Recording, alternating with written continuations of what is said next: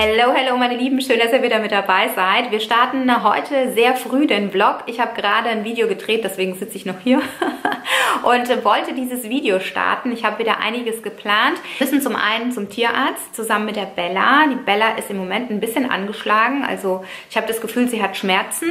Müssen wir mal schauen und sie muss geimpft werden. Ja, das steht an. Ansonsten muss ich noch einkaufen gehen und wir kochen auch wieder eine Runde gemeinsam. Und ich würde sagen, ich wünsche euch ganz viel Spaß bei diesem Video und los geht's. Bella hat total Angst. Zittert total. Schaut mal da. Gibst du der Bella ein Leckerli, Liam? Gib ihr mal ein Leckerli. Hä? Wo gehst denn du mit dem Leckerli hin? Hallo?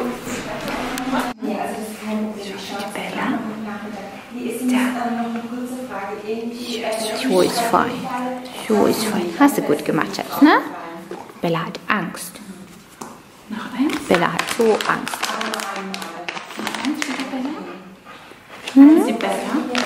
Nicht für den Liam. Oh, das stinkt das Zeug. So, gib's mal der Bella. Du willst gehen, ne Bella? Du hast keine Lust. So, meine Lieben, ich bin wieder zurück. Ich habe die Bella jetzt einmal hier nach Hause gefahren. Ich sage euch gleich, was die Tierärztin gesagt hat. Ich muss jetzt allerdings noch kurz zur Post Pakete wegbringen, unter anderem Verlosungspakete für Snap. Und äh, ich wollte ja noch einkaufen. Ich zeige euch dann, was ich gekauft habe. Also zur Bella. Sie hat jetzt zum einen eine Wurmkur bekommen, die bekommt sie alle drei Monate. Dann ist sie geimpft worden und leider hat sich das Ganze bestätigt, was ich vermutet habe. Also sie hat tatsächlich Schmerzen in der Pfote gehabt. Also sie hat da die ganze Zeit geleckt vorne. Und dann habe ich mir schon gedacht, vielleicht ist da ein Pilz oder so zwischen den Fußballen. Aber die Tierärztin hat mir erklärt, dass sie hier oben eben Schmerzen hat im Gelenk dass es Arthrose werden kann und sie muss zum einen mindestens drei Kilo abnehmen.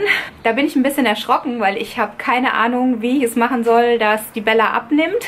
Natürlich vielleicht mit dem Futter, logischerweise, aber es ist halt auch so, dass jetzt hier im Winter die Bewegung natürlich ein Stück weit zu kurz gekommen ist.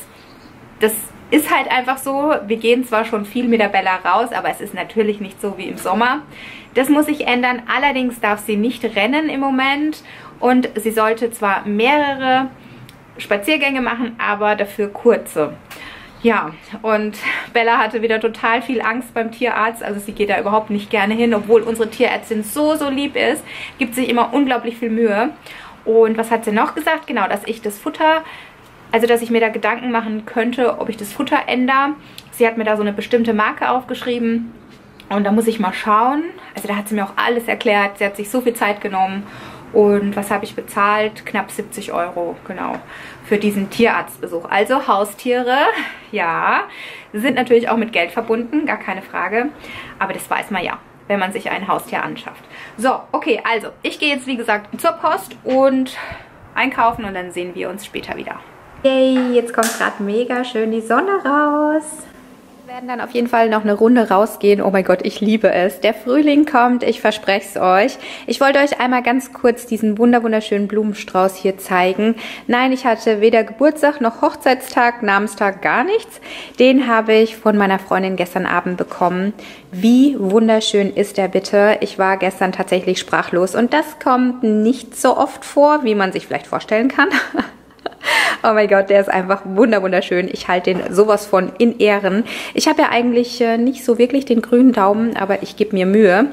Ansonsten ist hier noch ein Paketchen für den Liam angekommen und ich habe mir die Sachen schon angeschaut. Ich weiß, dass ihr auf solche Sachen steht und ich nutze das Ganze jetzt hier mal als kleine Inspiration für euch. Das ist keine bezahlte Produktplatzierung, aber ich zeige es euch wirklich von Herzen gerne, denn das ist von einem Online-Shop aus Berlin und der verdient definitiv ganz viel Aufmerksamkeit. Die nähen nämlich alles selbst, also ein Handmade Online-Shop. Ihr könnt euch die Stoffe aussuchen, alles ganz individuell so gestalten, wie ihr das gerne hättet. Ihr müsst einfach nur euren Wunsch eben äußern und dann fertigen die euch das an. Und euer Kind hat quasi ja, ein wunderschönes Teil, mit dem nicht unbedingt jedes zweite Kind dann rumläuft. Und vor allen Dingen, was super, super praktisch ist, dass die ganzen Sachen mitwachsen. Also das heißt, hier seht ihr das, ich habe das Bündchen umgeschlagen und wenn der Liam dann wächst, mache ich das dann eben so runter und dann habe ich ganz, ganz viel und ganz lang meine Freude daran. Ich zeige euch mal die anderen Schätze. Schaut euch mal bitte diese Hose an. Oh mein Gott, ich flippe aus. Die ist so, so schön. Hier mit dem Igel und dem Fuchs. die Farbe ist einfach genial. Und hier wächst das Ganze eben auch wieder mit. Ansonsten habe ich hier zum Beispiel noch ein Halstuch. Hier mit dem Stoff könnte man zum Beispiel auch eine Leggings nähen lassen oder ein Oberteil, ein Strampler. Je nachdem, was euch eben gefällt. Hier voll süß. oh mein Gott, ich freue mich so. Ich freue mich so, so sehr, weil die Sachen echt schön sind. Und wir haben ja schon einiges von Fuchs und Kiwi. Ich bin auch von der Qualität her so begeistert. Der Stoff ist ultra weich und hier schaut mal, wie praktisch dann eben zum Wickeln. Und ja, es ist einfach total süß. Hier zum Beispiel mit dem Esel. Ansonsten jetzt hier passend zum Osterfest ein Halstuch. total goldig hier mit den Hasen drauf. Und hier, das Oberteil ist zum Beispiel auch mega, mega süß. Auch die Farben und die Muster. Ja, also ich bin echt begeistert. Das wächst jetzt auch zum Beispiel wieder mit. Und hier diese Leggings. Oh mein Gott, ich rast aus. Echt sorry, aber ich bin so begeistert und ich bekomme dafür kein Geld. Ne? Also das ist keine bezahlte Produktplatzierung. Ich möchte es euch einfach nur zeigen und euch inspirieren. Vielleicht ist ja was dabei für eure Mäuse. Schaut euch mal bitte diese Jogginghose hier an. Richtig süß. Und dann zu guter Letzt noch ein wunderschöner Strampler. Hier auch wieder mit diesem Stoff richtig, richtig süß. Wächst natürlich auch wieder mit in diesem Mint. Gefällt mir eben auch sehr, sehr gut. Also falls es euch interessiert, schaut gerne mal bei Fuchs und Kiwi vorbei. Ganz unverbindlich könnt ihr euch ja mal die Internetseite anschauen und dann könnt ihr einfach entscheiden, ob das auch was für euch wäre. Dann zeige ich euch ganz kurz, was ich gekauft habe. Einmal frische Eier, Kartoffeln, Tomaten, Spätzle, die brate ich dann noch an. Gulasch, das gibt es eben heute Mittag für die Jungs. Dann wollte ich das mal ausprobieren. Grießklößchen habe ich noch nie gekauft. Dann frische Himbeeren, Kirikiri, liebt der die im Übrigens. Karotten, Bananen, Frischkäse. Salat darf natürlich auch nie fehlen. Und dann habe ich jetzt hier noch Blätterteig. Da möchte ich nämlich auch noch was zaubern. Und hier habe ich noch was Süßes. Und mein Brokkoli fehlt noch. Wo ist der Brokkoli hingekommen? Ich glaube, den habe ich im Auto vergessen. Upsi. Da ist er. Ich habe ihn gefunden. Hat sich versteckt. Der war schon hier oben. Ich habe mich schon gewundert. Ich habe den nämlich eigentlich hochgetragen. So, okay. Also dann verräume ich das jetzt alles und koche eine Runde. Also ich habe jetzt das ganze Gemüse klein geschnitten. Karotten, Kartoffeln, Brokkoli. Ich habe noch Lauch mit rein. Das Ganze lösche ich dann jetzt gleich ab. Hier mit Kokosmilch. Ich werde irgendwie was Thailändisches machen. Mal gucken. Ich habe jetzt hier auch noch Kurkuma vorbereitet. Dann gibt es Gemüse. Spätzle hier mit dem Gulasch. Und für uns gibt es Reis dazu. Diesen hier. Der ist richtig schrecklich. Ich habe es euch auf Instagram schon erzählt. Aber ich muss ihn ja jetzt auch irgendwie aufbrauchen. Aber den würde ich nie wieder nachkaufen. Hat richtig schrecklich geschmeckt, als ich den das erste Mal gemacht habe. Gut, ich mache jetzt einfach das Beste draus. War ja klar. okay, ich brauche noch meine andere Hand dazu.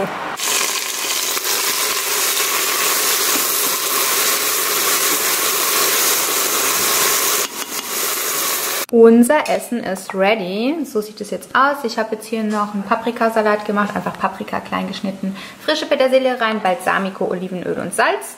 So, und jetzt packe ich das hier auf den Reis. Das habe ich schon abgeschmeckt hier. Schmeckt richtig gut und ich hoffe, dass der Reis dazu jetzt auch schmeckt. So, ich würde sagen, wir sehen uns später wieder. Dann zeige ich euch noch das Gulasch. Das dauert noch einen Moment. Und ja, bis später. Und hier ist das Gulasch für die Jungs. So sieht es jetzt aus und das Gemüse ist auch gleich fertig. Meine lieben, neuer Tag, neues Glück. Warum stehe ich so komisch da und halt meine Haare so nach hinten? Ja, weil ich gerade vom Friseur komme und euch nicht sofort das Ergebnis zeigen wollte. Aber ja, ich zeige es euch jetzt. Es ist wieder ein ganzes Stück abgekommen. Der absolute Wahnsinn. Schaut mal, wie mutig ich war. Mir gefällt es total gut. Auch die Farbe gefällt mir gut. So sieht das Ganze jetzt aus. Mal schauen, ob ich das dann auch so hinbekomme. Wahrscheinlich nicht. Wer kennt's? So nach dem Friseur sehen die Haare immer total schön aus und wenn man sie sich dann selbst frisieren muss, sehen sie aus wie, ja, äh, als hätte man in die Steckdose gefasst. so, ich wollte mich jetzt noch einmal ganz kurz bei euch melden, beziehungsweise euch jetzt nochmal so hier ein bisschen mitnehmen. Liams neuer Autokindersitz ist angekommen, den wollte ich euch auch noch zeigen. Und da drüben ist der Max, der irgendwelche Grimassen macht, keine Ahnung. Ich hoffe, dass er mir jetzt ein bisschen hilft mit dem Autositz, denn ich hasse es, Gebrauchsanleitungen durchzulesen. Wem geht's genauso? Hände hoch. Also ich bin da ganz vorne mit dabei. Ich mache es dann lieber so und bringe mir das dann so bei, wenn ihr versteht, was ich meine. So, der Max schüttelt mit dem Kopf. Ich würde sagen, wir schauen uns jetzt mal den Autositz an und wir sehen uns auch gleich wieder. Und da ist er. Ich packe den mal aus, so könnt ihr den ja gar nicht gut erkennen. Und zwar nennt er sich so. ja, ihr könnt es gut erkennen. Und das zeige ich euch jetzt auch, wie es aussieht. Beziehungsweise ich montiere den mal im Auto und zeige euch dann das Ergebnis. Gut eingepackt. So, das ist hier noch die Station. So sieht das Ganze aus. Oh mein Gott, ist der schön. Ah, ich freue mich. So, es ist auch nur ein bisschen windig heute. Frisur sitzt nicht. Warte mal, ich muss noch die Isofix-Station erst auspacken. Hilfe!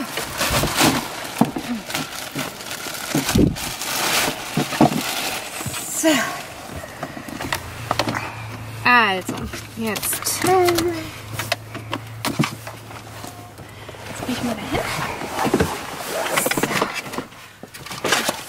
Also meine Lieben, es war super einfach, diesen Autokindersitz hier zu montieren. Hat wunderbar funktioniert.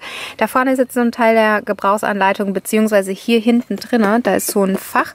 Da ist eben die komplette Gebrauchsanleitung drin. Die werde ich mir definitiv natürlich noch ordentlich durchlesen.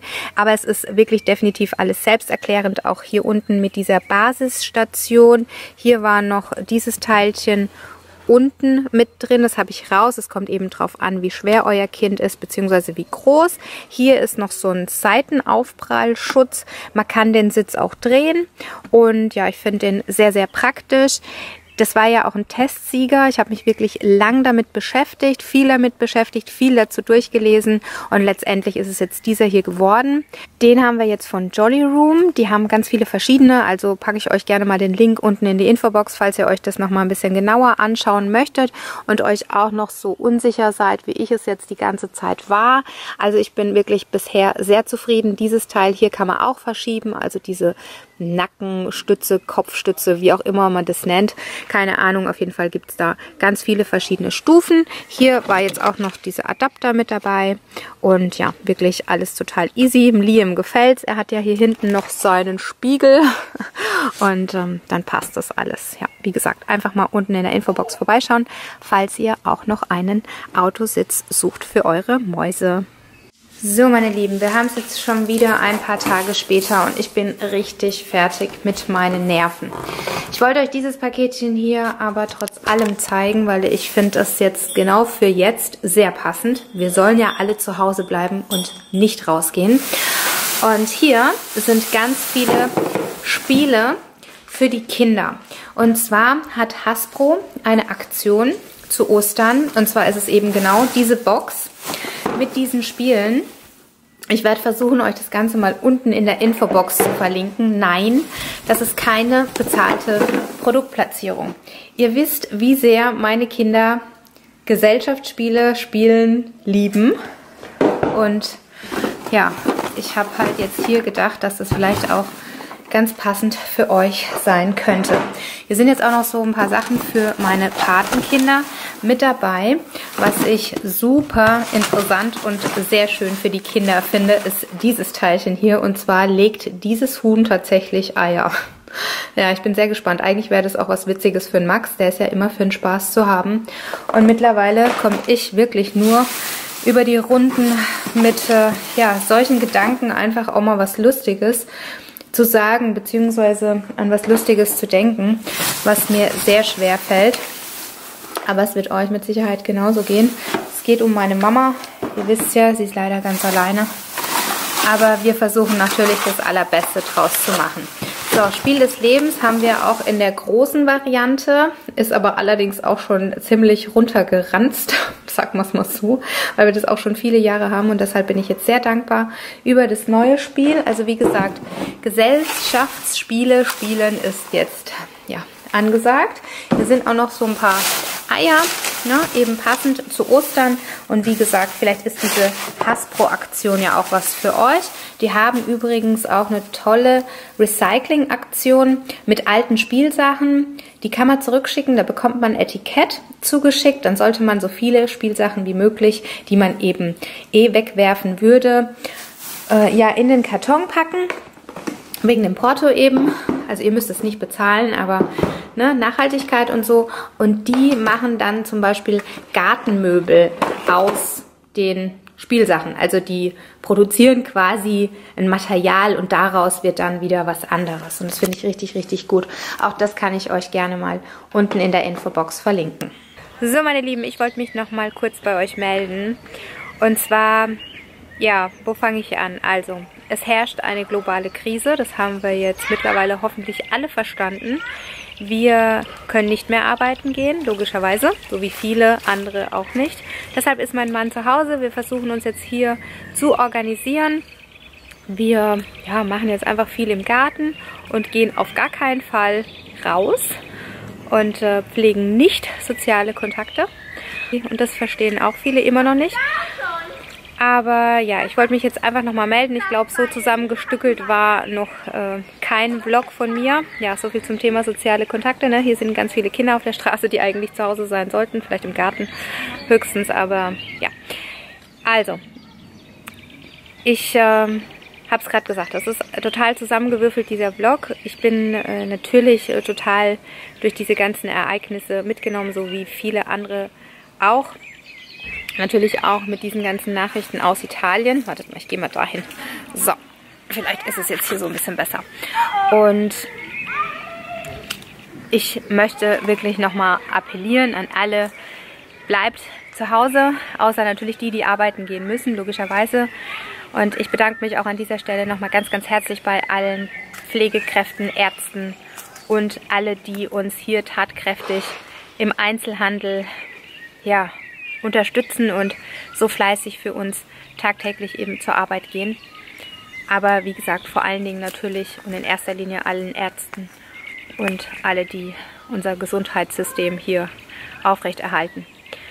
Jo, wir müssen jetzt mal schauen, wie es weitergeht, auch mit dem Vloggen. Ich meine, ja, wir sind wie gesagt nur zu Hause. Ich habe viel vor, ich möchte viel umsortieren, ausräumen. Keine Ahnung. Also auf jeden Fall wird es nicht langweilig hier zu Hause.